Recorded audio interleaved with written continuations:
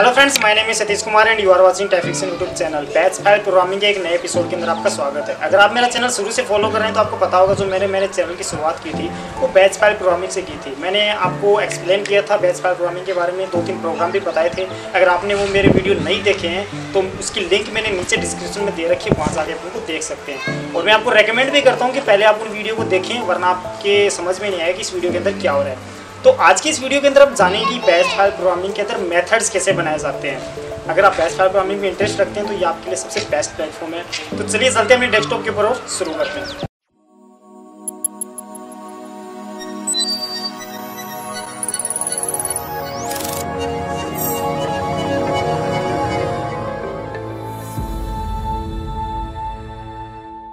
Okay तो हम अपने डेस्कटॉप के ऊपर आ चुके हैं। तो सबसे पहले आप अपना नोट पैड ओपन कर लेते हैं यहाँ से।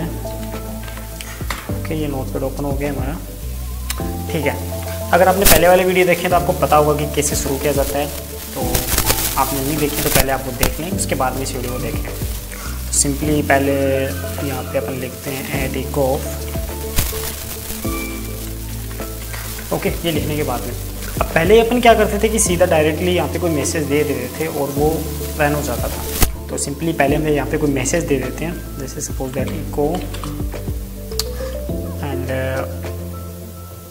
batch program okay उसके बाद में, अब देखिए मेथड बनाने के लिए सिंपली आप क्या करते हैं पे डबल डोर लगाना और उसके बाद में मेथड का नाम लिख दीजिए, जो भी आप मेथड देना चाहते हैं, जैसे सपोज़ दैट मैं लिख देता हूँ ए ठीक है? तो ये मेथड हमारा बन के तैयार हो गया। तो अब क्या होगा? इस मेथड के अंदर जो भी अपन लिखेंगे, वो इस मेथड के अंदर ही रन होगा। उससे बाहर इसका कोई काम नहीं होगा। तो इस मेथड के अंदर जो भी कोड अपन लिखना चाहिए लिख सकते हैं। जैसे सपोज़ दैट मैं लिख देता हूँ यहाँ पे इको और फ़र्स्ट मेथड ओके इसके बाद में इसको पोज कर देते हैं यहाँ से। ठीक है? तो हमारा फ़र्स्ट मेथड बन के तैयार हो चुका है। अब सेकेंड मेथड बना लेते हैं यहीं से बी और इसके अंदर भी कोई मैसेज दे देते हैं, जैसे मैं दे देता हूँ इको सेकेंड मेथड ओके और इसको कर देते हैं पोज ठीक है तो जैसे हमारा प्रोग्राम रन होगा तो सबसे पहले क्या होगा कि ये फ़ाइल हमारी कॉल होगी। ये हमारा मैसेज प्रिंट होकर आएगा, अपने सामने यहाँ पे पोज लिख देते हैं, ताकि हमें आसानी से समझ में आ जाए, ठीक है? तो सबसे पहले एटिक ऑफ़ ये जो फ़ाइल होती है जितने भी पहले से जो कोई लिखा हुआ जो टर्मिनल में लिखा हुआ होता है ऑलरेडी उसको ये हटा देगा। और उसके बाद में हमारा ये ये कोड लाइन रन होगी। और इसमें हमने मैसेज दिया है बैच प्रोग्राम तो ये हमारा मैसेज प्रिंट हो जाएगा उसके बाद में ये पोज हो जाएगा, वहीं पे प्रोग्राम रुक जाएगा। और जैसे हम उसको आगे कंटिन्यू करेंगे तो हमारा फ़र्स्ट मेथड कॉल होगा ए फ़र्स्ट मेथड के अंदर हमने क्या किया है? फ़र्स्ट मेथड एक, हमने मैसेज दिया है। उसके बाद में ये वहीं पर रुक जाएगा। और जैसे इसको आगे कंटिन्यू करेंगे तो ये सामने हमारा सेकेंड मेथड कॉल हो जाएगा। सेकेंड मेथड कॉल होने के बाद में एक मैसेज और दे देते हैं यहाँ पे। इको एंड प्रोग्राम ठीक है? तो जैसे ये हमारा सेकंड मेथड कॉल होगा सेकंड मेथड कॉल होते ही हमारे सामने ये मैसेज प्रिंट होके आ जाएगा। तो चलिए इसे रन करते हैं और टेस्ट करके देखते हैं कि क्या कुछ हमें देखने को मिलता है। सेवेज मैं डेस्कटॉप पे सेव कर लेता हूँ इसे। सेवेज टाइप कर दीजिए ऑल फाइल्स और इसका कोई भी नाम दे दीजिए इसे मैं दे देता हूँ method program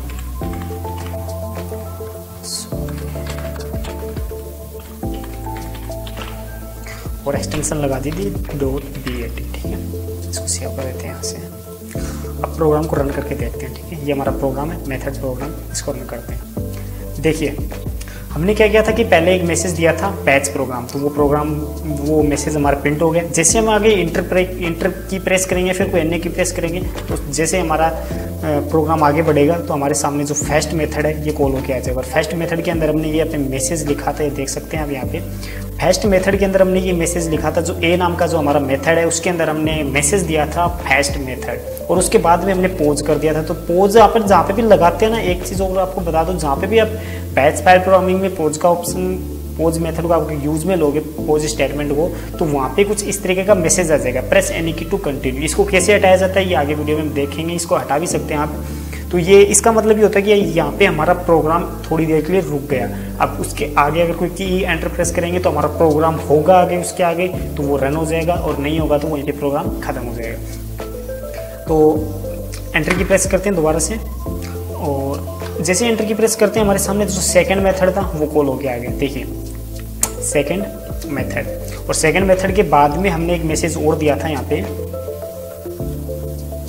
and program simply जैसे सेकंड मेथड यहाँ पे कॉल हो सेकंड मेथड कॉल हो चुका। सेकंड मेथड कॉल होने के बाद में ये मेथड से बाहर निकल के आएगा। मेथड से बाहर निकल के आएगा तो इसको एक की ओर मिलेगी और वो हमने क्या कर दी यहाँ पे?